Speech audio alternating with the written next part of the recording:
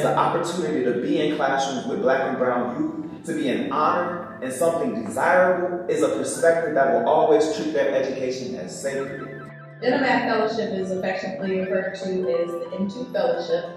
Um, and in a nutshell, it is a community of practice that this inaugural cohort has brought together eight Black and Latinx amazing fellows um, from a variety of backgrounds throughout the city of Chicago um, to further develop their capacities as culturally informed instructional leaders. Think of it as like social justice meets mathematics. Culturally relevant pedagogy we cannot go back to the old ways. This program really allowed me to see how math is actually used in our world beyond what we usually think about it. And when we empower our young people to use tools like math and statistics, uh, you know, there's not a lot of people can say in response to that. When content is relevant, students will rise to the challenge.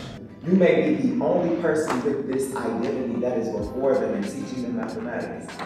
Y'all, how dope is that? We need to connect. We need to cultivate. We need to grow.